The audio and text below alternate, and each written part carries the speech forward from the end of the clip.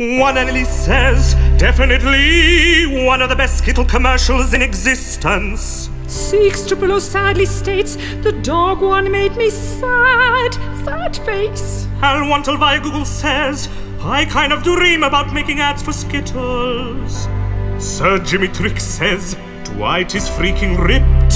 He made 22 exclaims, I just love how he sounds so dramatic. What a thespian, like everyone. Kay loves me, Zuho replies, at one Annalise. I agree, this is the funniest commercial I've seen in a while. Gosh, with powers like his, he could end the world. Da da da da da. John 7108 cries, Bravo, bravo, excellent ad. That's how to do a commercial the right way. Chris Chase replies, I shouldn't laugh, yet I bloody do. The black comedy is dripping in excellence. Clyden 77 remarks, ROTF. Very, very witty and creative. J158 thinks Grandma must be deaf if she can't hear all that smashing. Skittles.